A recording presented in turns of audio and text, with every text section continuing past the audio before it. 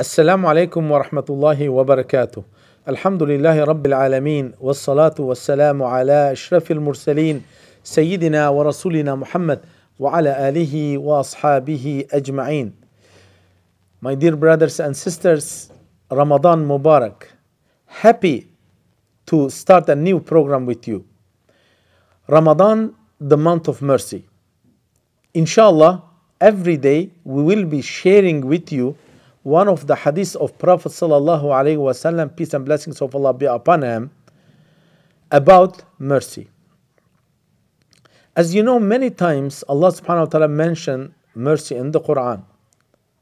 And Allah subhanahu wa ta'ala says, أعوذ بالله من الشيطان الرجيم قل يا عبادي الذين أسرفوا على أنفسهم لا تقنطوا من رحمة الله إن الله يغفر الذنوب جميعا Allah subhanahu wa ta'ala says, Say, O Muhammad, O my servants who have transgressed against themselves by sinning, do not despair of the mercy of Allah.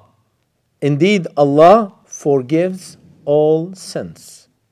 And please do not be hopeless from Allah's mercy. Anything we have done in the past, we know that Allah subhanahu wa ta'ala, inshallah, will forgive us. And do not forget also one of the great, one of the major sins that to be hopeless from Allah's mercy. Anything you have done, just ask Allah subhanahu wa ta'ala, inshallah, will forgive you. The door of the tawbah is open. Today's hadith, inshallah, will be about the mercy.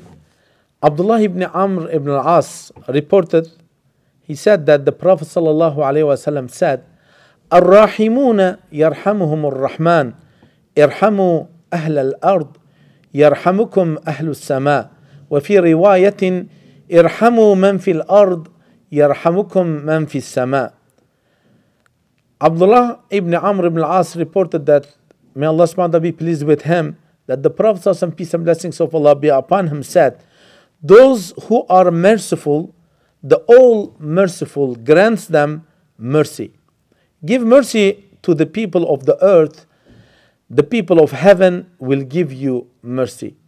In another wording, give mercy to those who are on the earth and do and those who are in the heaven will give you mercy.